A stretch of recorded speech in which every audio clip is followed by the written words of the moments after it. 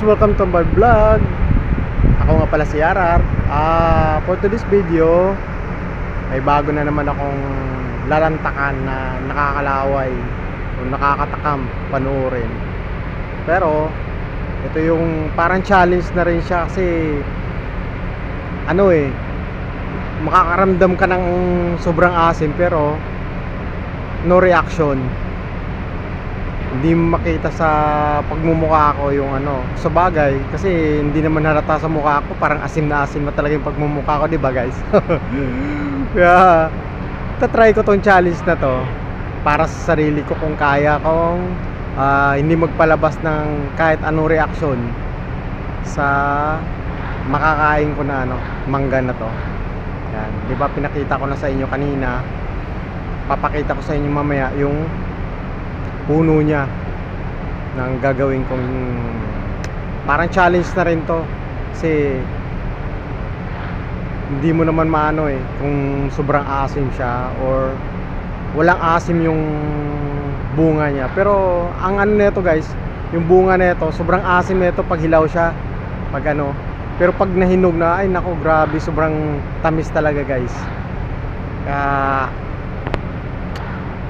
eto na dadaling kita mamaya sa ano kung saan yung pinakapuno nyo guys. Ay. Now guys dito na ako sa harapan ng puno ng mangga. Ayan. papakita ko sa inyo kung gaano karami yung bunga. Niya.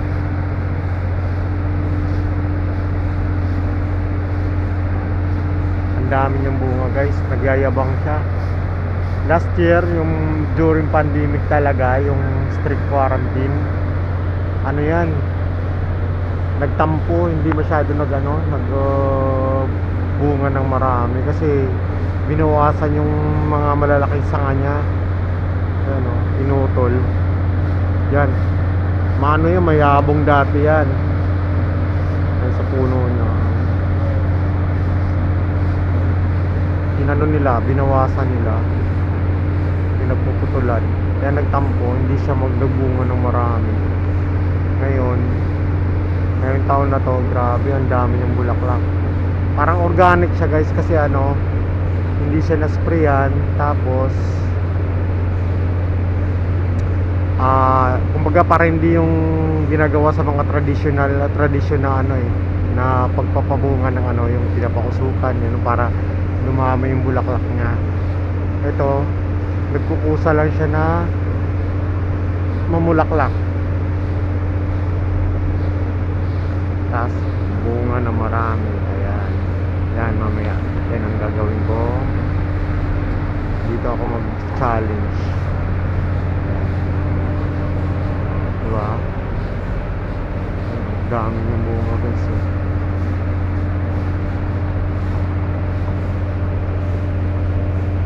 Itong puno ng mangga na to dito lang to sa harapan ng ano pinagtatrabahuan ko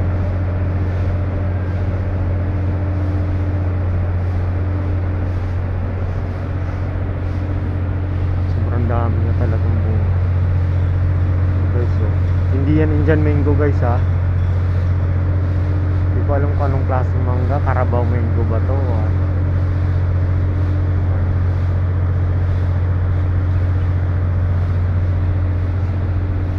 paligid niya sa paligid-ligid nito sanga yan guys diba sa taas pa yan hindi pa makikita yan kasi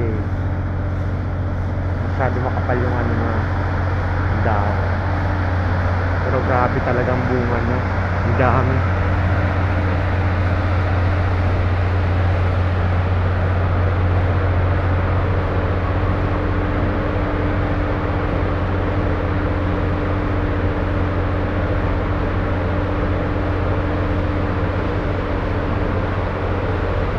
dito kasi ang park na to mababa pa yan dati. Ayan. Mababa pa yan dati. Parang pag pumunta ka rito sa ground na to ano siya kitang kita mo yung maano mo yung sanga niya sa ulo mo. Ito ang laki ng sanga na pinutol dito last year. Kaya nagtampo siya tapos nung last ano ko last video ko na ano doon naman kinuha sa kabila yon maraming puno ng mangga rito eh parang apat na puno ng mangga. Nagbubunga talaga. Yung pinagkuhanan ko last ano ko video ko ano yon ma yun ang nag ano nag boom last year. Grabe ang bunga nun namumutik-tik talaga ang ano niya bunga. Diba? Yan ang mahiwagang mangga. Pinagkukuhanan namin ng ano. Alam nyo ba guys pagka yung naniba lang na siya yung malapit na sa mahinog ang tamis. Grabe hindi mo maano yung asim niya grabe talaga oh. sayang. Hindi ko maabutan to kasi mawawala na kami by April eh. Kaya ang ganda talaga oh. Dami na talagang bunga guys. Ito kasi yung part na to. Yan. Part na yan. Ano yan? Harapan ng tra pinagtatrabahuan ko. Ito yung entrance. Tapos ito yung exit. Exit part. Parang compound kasi to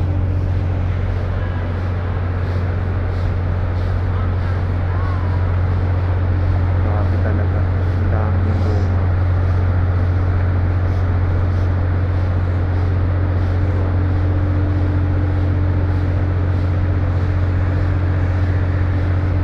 yan sa puno niyan di ba ang ganda oh.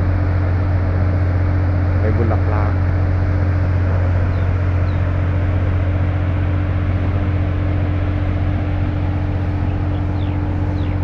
di ba guys ang ganda ng part na to. Parang landscape siya na. Pero hindi talaga maano rito sa dami ng bunga niya. Parang bumawi siya.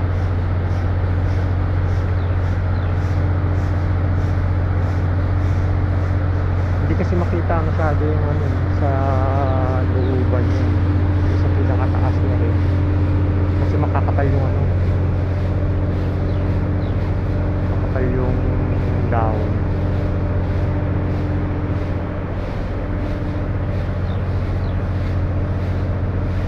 Sarap sana na ito pag ano ka next video ka sa next video ka na ano gagawin. Magmumukbang na ano manggang hinog. Kasi sobrang dami talaga. May malaki pa yun oh. Hindi kita kasi medyo malabo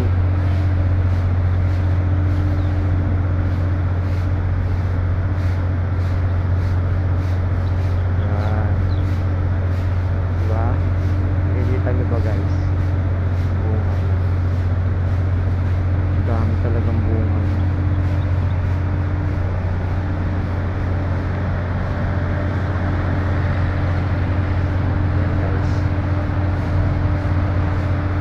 A few inches later. Hi guys, dito na ako. Dito na ako sa taas. Ayan. Ito yung mga bunga niya oh.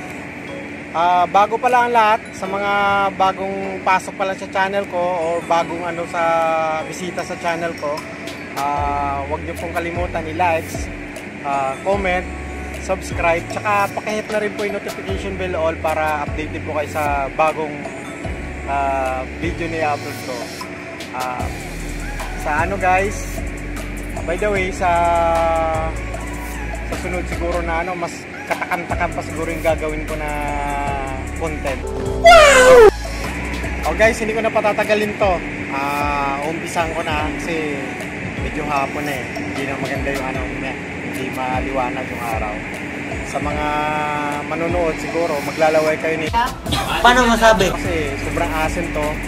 Tapos, ah, di ba ang content ko ngayon, walang kare-reaction sa kakainin ko na mangga na ano. Maliliit pa lang. Uh, umpisang ko na to guys ha.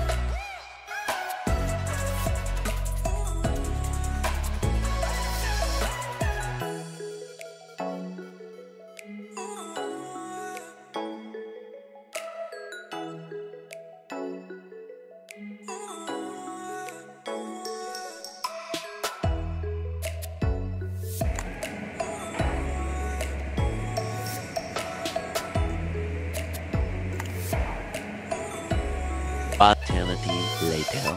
Guys, ah ito na yung katapusan ng ano ko, challenge ko. Challenge success na naman ngayong araw na to.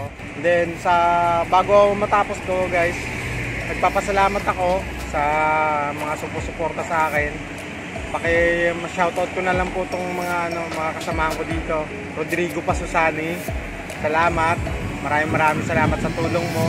Then sa mga kaibigan ko sa ano sa Gisio Department. Alam niyo na kung sino kayo kasi hindi ko na kailangan isa-isa siguro. Then si ano, kabady ko rin si Gisper Espinosa. Maraming maraming salamat mo sa sa ano, sa tulong nyo. Tsaka sa ulitin, maraming maraming salamat guys. Salamat.